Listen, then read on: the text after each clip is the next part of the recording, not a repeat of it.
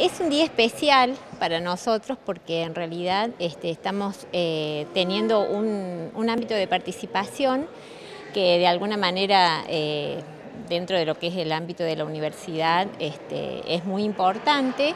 Eh, nosotros nos estamos acercando con propuestas siempre de, pensar en el bienestar de todos nuestros compañeros no docentes en particular y, bueno, son propuestas siempre integradoras, eh, pensando que se pueden mejorar muchas cosas y, bueno, somos un grupo mm, eh, minoritario seguramente, pero bueno, eh, seguimos trabajando siempre con ese propósito.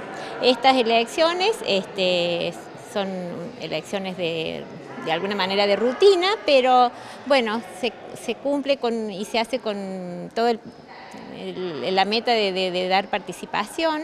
Eh, compañeros que se acercan pueden hacer, puede acercarse digamos, eh, aunque no estén afiliados a ATE, para que participen todos. La idea es esa. Y, bueno, seguir eh, trabajando en ejes este, generales que son, digamos, este, para el trabajador, eh, el sentido de pertenencia, lo que es la universidad como, ámbito de trabajo. Eh, yo ya con 28 años de antigüedad acá en la universidad, uno ha vivido distintos periodos, distintas etapas, distintos procesos.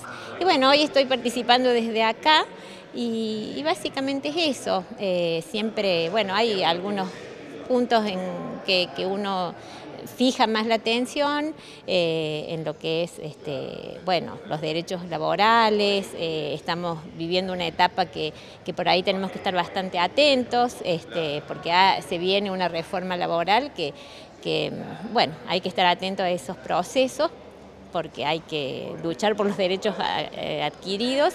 Y bueno, eso es más o menos la línea de, trabajo que nosotros proponemos. Eh, en colaboración siempre, sin caer en temas de ideologías y digamos cada uno desde su, desde, su posición siempre en un trabajo este, colaborativo.